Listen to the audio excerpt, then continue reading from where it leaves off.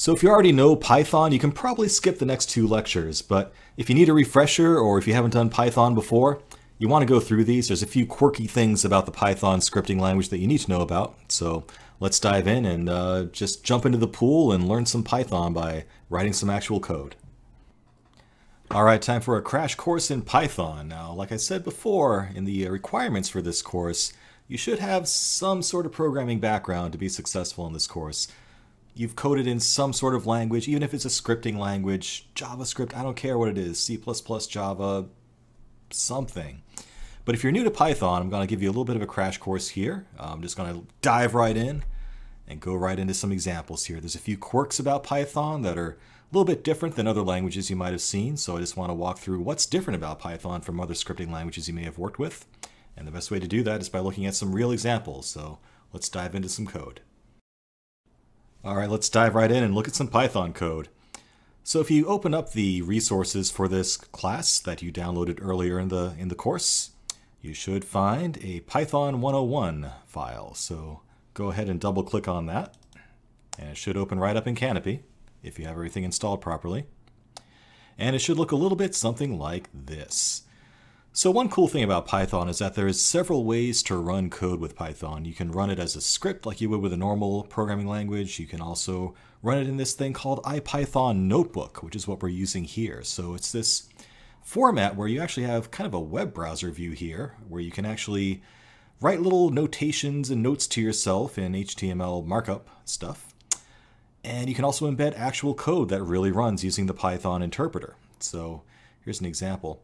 First example I want to give you some Python code is right here. So this gray block of code represents some real Python code that we can actually run right within this, uh, this, this view here. So let's take a look at what's going on. We have a list of numbers and a list in Python, kind of like an array in other languages, is designated by these square brackets. So we have this data structure of a list that contains the numbers 1 through 6. And then to iterate through every number in that list, we're going to say for number in list of numbers, that's the Python syntax for iterating through a list of stuff in a colon. And the point I want to make here is that in other languages, it's pretty typical to have a bracket or a brace or some sort there to denote that I'm inside a for loop or I'm inside an if block or some sort of block of code. But in Python, that's all designated with white space. So the tab is actually important in telling Python what's in which block of code. Okay, tabs have real meaning whitespace has real meaning in Python, so you can't just format things the way you want to. You have to pay attention to it. So you'll notice that within this for block, we have a tab of 1 within that entire block. And for every number in list of numbers, we will execute all of this code that's tabbed in by one tab stop. We're going to print the number, and the comma just means that we're not going to do a new line afterwards. We're going to print something else right after it. And if the number modulus 2 is equal to 0, we'll say it's even. Otherwise, we'll say it's odd. And then when we're done, we'll print out all done. And you can see here I ran the output before and it actually saved it within my notebook. But if you want to actually run it yourself, you can just click within that block and push the play button and we'll actually execute it and do it do it again. And just to convince yourself that it's really doing something, let's change the print statement to say something else. Say, um, hooray, we're all done. Let's party. And if I run that now, you can see, sure enough, my message there has changed. So again, the point I want to make there, white, space is important. You will designate blocks of code that run together, you know, like a for loop or if-then statement, using indentation, using tabs. So remember that. Also, pay attention to your colons here too. You'll notice that a lot of these uh, clauses begin with a colon before. Next thing I want to cover is importing modules. So Python itself, like any language, is fairly limited in what it can do. The real power of using Python for machine learning and data mining and data science is the power of all the external libraries that are available for it for that purpose. One of those libraries is called NumPy, or Numeric Python. And for example here, we can import the NumPy package, which is included with Canopy, as NP. That means I'm going to refer to the NumPy package as NP, and I could call that anything I want. I could call it Fred, I could call it Tim, but it's best to stick with something that actually makes sense. And then now that I'm calling that numpy package np, I can refer to it using np. So in this example, I'm going to call the random function that's provided as part of the numpy package and call its normal function to actually generate a normal distribution of random numbers using these parameters and print them out. So go ahead and hit, show you that that actually works. And since it is random, I should get different results every time. Sure enough, I do. So that's pretty cool.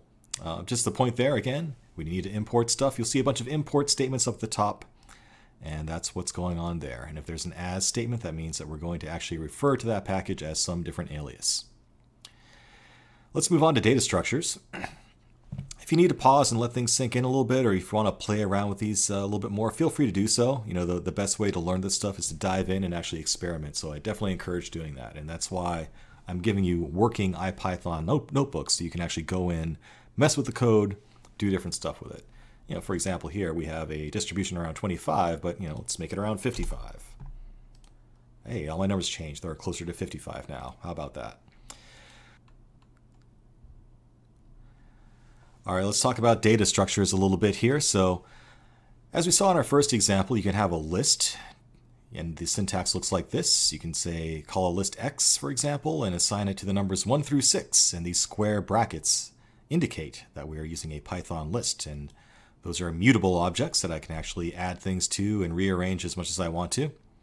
There's a built-in function for determining the length of a list called len. And if I type in len x, that will give me back the number 6 because there are 6 numbers in my list. You know, just to make sure, just again to drive home the point that this is actually running real code here, let's add another number in there, like 400, whatever it is, 4,545. If we run that, we'll get 7 because there's now 7 numbers in that list. Go back to the original example there. Now you can also slice lists. If you want to take a subset of a list, there's a very simple syntax for doing so. So for example, if you want to take the first three elements of a list, elements is everything before element number three, we can say colon three to get the first three elements, one, two, and three. And if you think about what's going on there as far as indices go, like in most languages, we start counting from zero. So element zero is one, element two is, element one is two, and element two is three.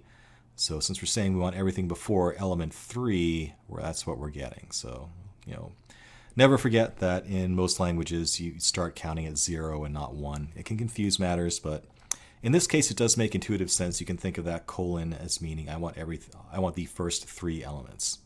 And I could change that to four, and you know, just to again make, make the point that we're actually doing something real here.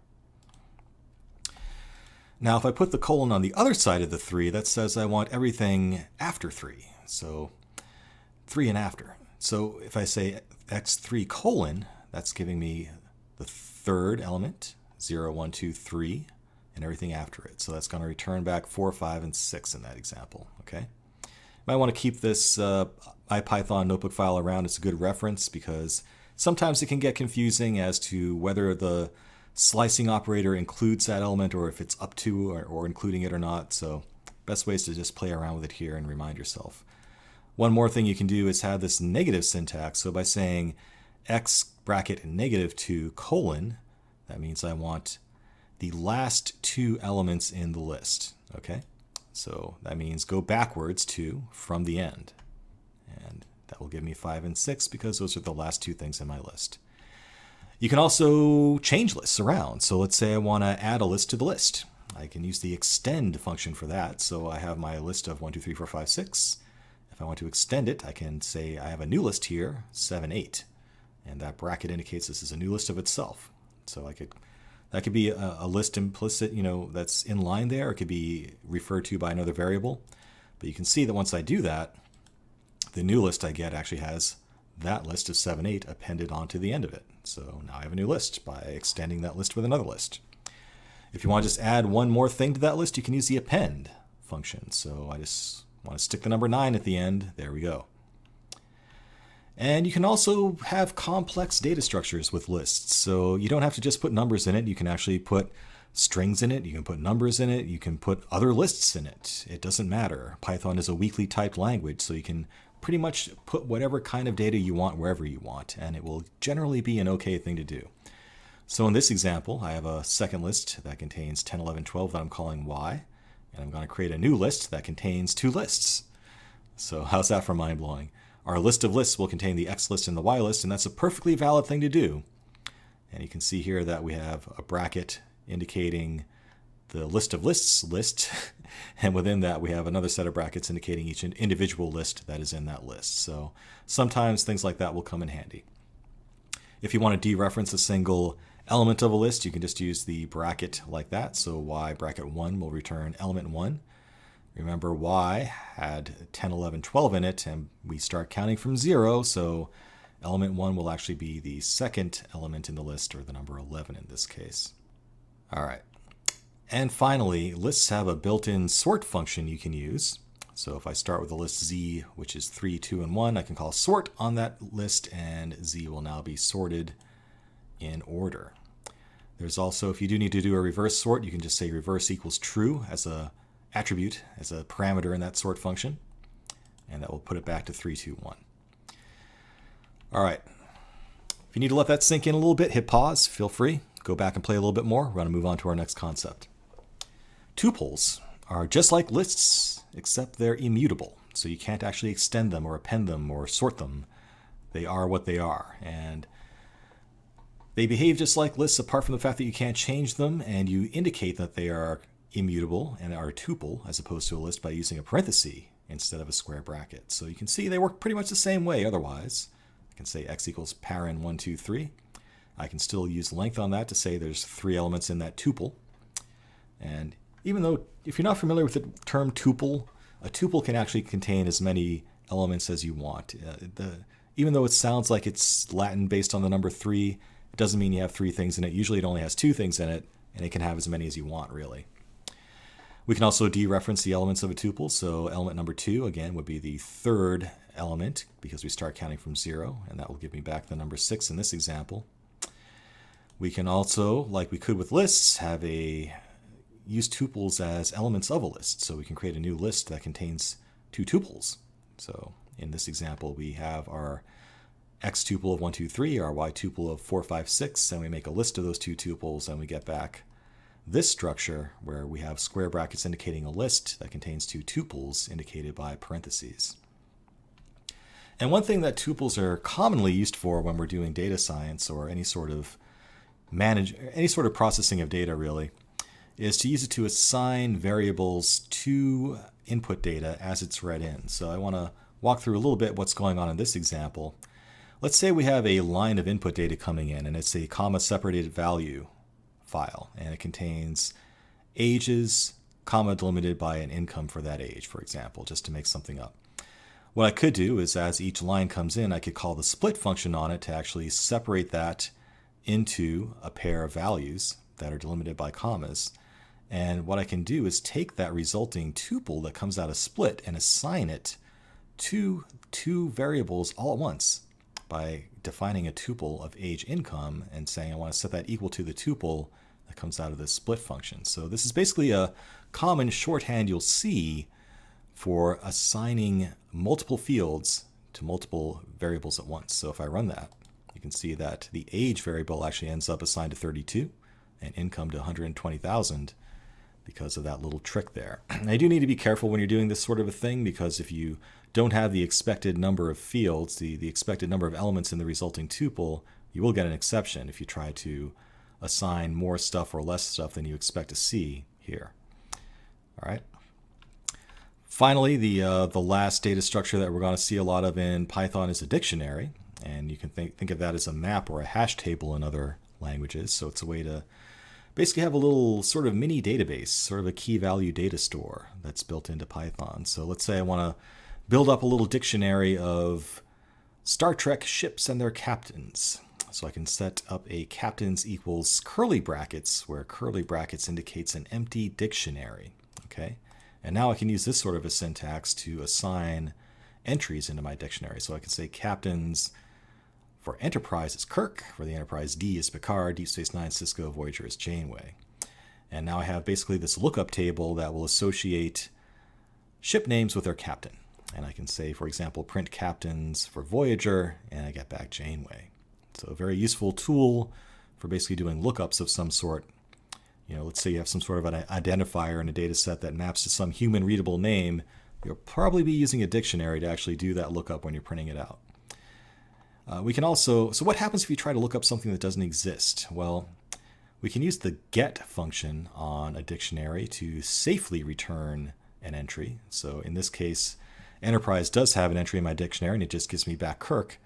But if I call the NX01 ship on the dictionary, I never defined the captain of that. So it comes back with a none value in this example, which is better than throwing an exception, but you do need to be aware that that is a possibility. It's uh, Jonathan Archer, but you know I'm getting a little bit too geeky here now. Little uh, example here of iterating through the entries in a dictionary. So if I want to iterate through every ship that I have in my dictionary, print out their captions, I can go for ship in captains, and that will iterate through every single key in my dictionary. And then I can print out the lookup value of each ship's captain, and that's the output that I get there. So, so there you have it. And that's basically the main data structures that you'll encounter in Python. There are some others like sets, but we're not going to really use them in this course. So I think that's enough to get you started. Let's uh, dive into some more uh, Python nuances in our next lecture.